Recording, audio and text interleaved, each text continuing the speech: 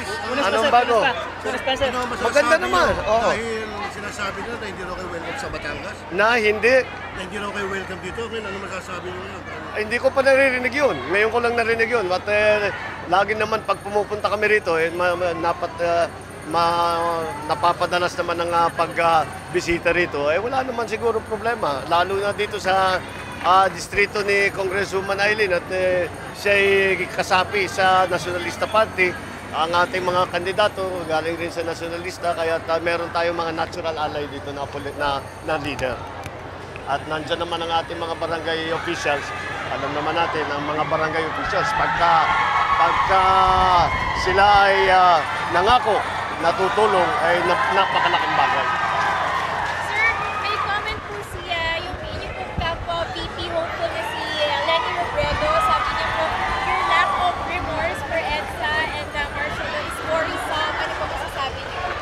Well, that's nothing new. That's, uh, that's her opinion.